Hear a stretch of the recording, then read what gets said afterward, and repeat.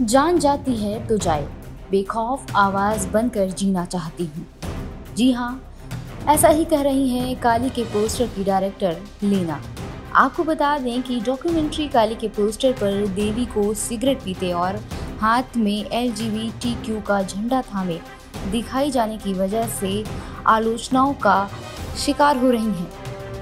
Film निर्माता लीना ने कहा है कि वह जब तक ज़िंदा हैं, तब तक बेखौफ अपनी आवाज़ बुलंद करना जारी रखेंगी।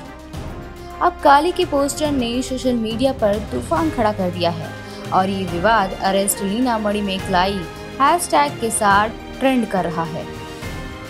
सोशल मीडिया पर इसका विरोध करने वालों का आरोप है कि फ़िल्म निर्माता धार्मिक भावनाओं को ठेस पहुँचा रही है।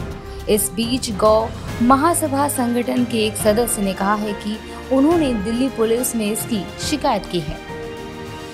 तो वहीं फ़िल्म निर्देशिका ने ये कहते हुए पलटवार किया है कि वह इसके लिए अपनी जान देने को भी तैयार हैं। मणिमेकलाई ने इस विवाद को लेकर जवाब देते हुए अपने ट्विटर अकाउंट में तमिल भाषा में लिखा है कि मेरे पास खाने के लिए कुछ नहीं है।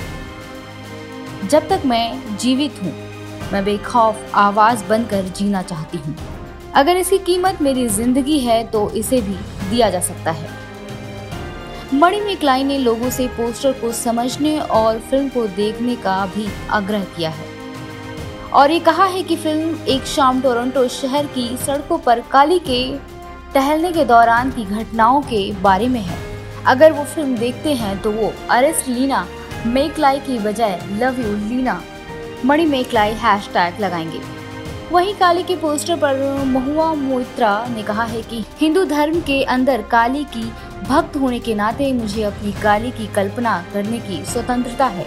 ये मेरी स्वतंत्रता है और मुझे नहीं लगता कि इससे किसी की भावनाओं को ठेस पहुंचनी चाहिए।